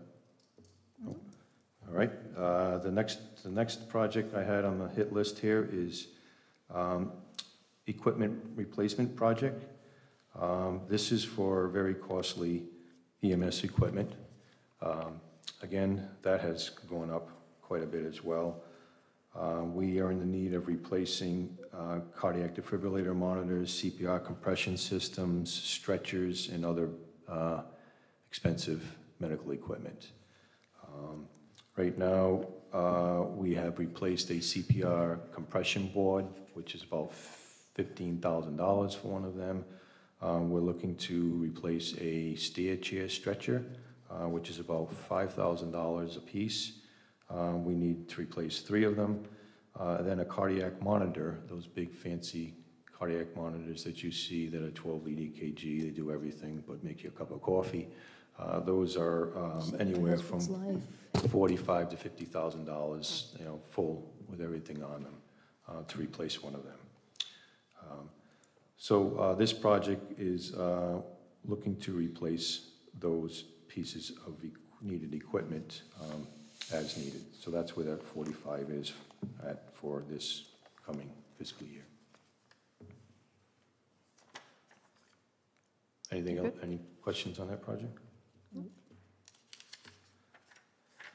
Uh, The next project I had on here, and I could talk at length on this one, but uh, I'll probably get the hook.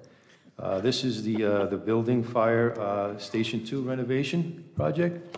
Um, Thank you, by the way, for originally funding this um, through ARPA funding. Uh, It was 1.1 million or- originally, Chris, I think, that we appropriated for this project.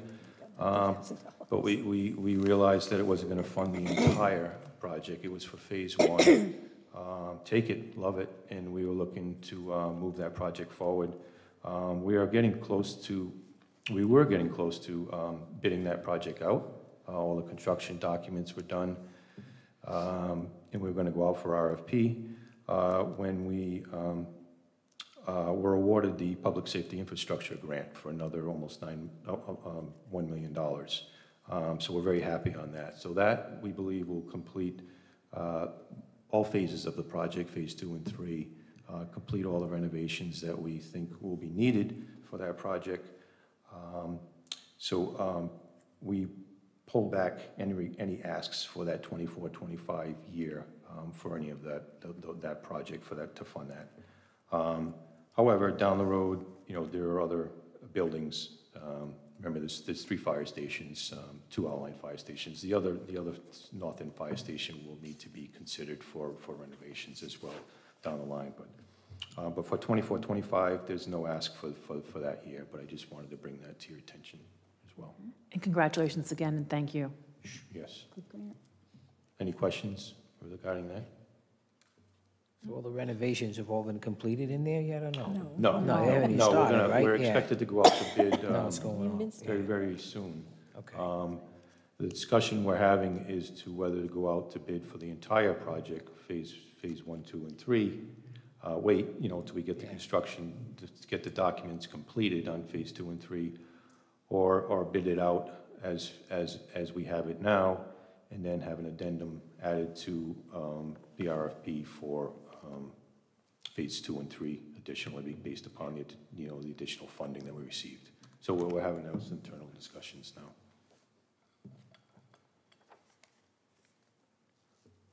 Okay. Number five? Yep, num- number, number five. Um, That is our townwide AED um, uh, program. It's the, the the maintenance of that program. Uh, We had uh, purchased, well, leased, lease purchased, I guess you could say, leased uh, 40 brand-new AED units that have um, uh, been dispersed throughout the community. We have a few left that we need to uh, disperse, so this is an ongoing maintenance to uh, support that program. Um, Back in uh, this year, 23-24, we signed a five-year um, rate lock lease agreement on all of those AEDs. It's a terrific program. Uh, I've been involved in the integration and implementation of it. Um, So this is to help fund that lease program going, going forward for the next five years at least. Any questions? It's a great program. On to number six. Uh, The next, next one is um, the fire alarm re- receiving and dispatch center. This is a capital project to um, provide the infrastructure and equipment and upgrades necessary to support and monitor, um, support, monitor, and maintain the town's municipal fire alarm receiving system. So um, we are transferring over to the radio box technology from the overhead cabling system. Um, uh, But there is an ongoing need to upgrade some of the um, digitizers and and computers and and equipment centered around that project uh, within dispatch. So this will go, go towards helping to uh, fund those needs uh, within the dispatch center primarily. Any questions on this? Nope. Number seven. Uh, The next, next project, and uh, I believe it's- it's the last one, It um, has to do with the um, fire suppression equipment replacement program. Uh, It's an 18,500 ask, and um, this is centered towards replacement of uh, firefighter PPE equipment, um, the SCBA or the, the the air apparatus that we wear, uh, particularly the bottles, need to be replaced, um, along with our mobile data terminals within our vehicles, um, and any other fire-related equipment to help support the fire, fire suppression division. Um, This year, uh, we had focused primarily on the replacement of our turnout gear. Um, We had several sets of gear that were um, approaching their expiration date, uh, which is uh, by NFPA standards, 10 years, correct, Captain? Correct, 10 years. Uh, And that's just not the, the coat and the pants, which are very expensive. I believe a set costs, what was our last, about 4,000, somewhere, four, four to, f- about, I think it's almost close to 4,000, uh, $5,000 now. Um, But it's also the, the, the helmet, excuse me, the, the helmets, the boots, the gloves, and the um, protective, um, uh, the Visor. protective hoods that we wear as well, and all, all those things. So we put, and boots, yeah, and we replaced, we replaced all those. So that, th- this year, we focused on that. Um, uh, We're gonna be focusing on um, uh, the same, but uh, really looking at the SCBA bottles that need to be replaced because uh, we have many that are coming out of um, expiration and end of life and need to be replaced. Um, So that program is primarily for those, for those items uh, right there. And the ask this year is, is is 18.5. Um, It's only going to get um, a little bit more expensive um, down the line with some of the other years coming up. Are there any questions for the chief or for Captain Conroy? Thank you.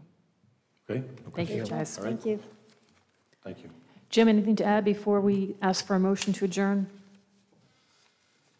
Oh, oh, Thank all the staff that uh, worked together to get these budgets presented to everyone. Thank you. Thank you. Thank you, Chris, especially. Is there a motion to adjourn? Actually, we do. So You just want to adjourn? Oh, I'm sorry, I had- I had asked ahead of time, and I thought you had